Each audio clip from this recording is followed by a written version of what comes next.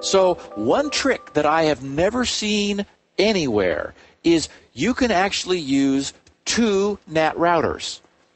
You're able to put NAT routers in series so that, for example, you'd have an external NAT router and an internal NAT router.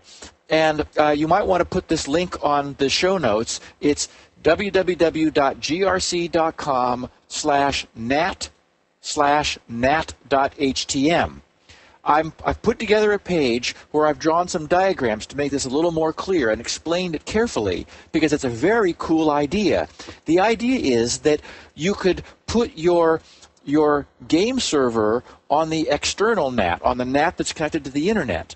And then rather than putting the rest of your computers on the same NAT router, put them on their own NAT router and then hook that second NAT router to the first one, essentially in series. Leo then observed that the external NAT router could be set up with port forwarding so that it would block all unsolicited incoming traffic except that which is specifically designated for the game server. Well, and it's also so no longer is your game server on your LAN. It's sort of on like WAN 2. It's sort of on a separate network and and again, you're able to access the game server because you're going you're going through the NAT outbound, which is where the game server is on the outside of your second NAT but it can't get to you. So if something were to compromise it, you're safe.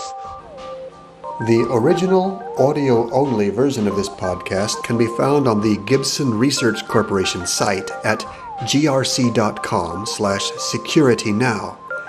That episode is about 26 minutes long. This clip illustrates some of the highlights from that show. This video clip comes from a large collection of related clips all are indexed and easy to find at www.askmisterwizard.com, along with related items, text articles, illustrations, and forums. Please visit us today.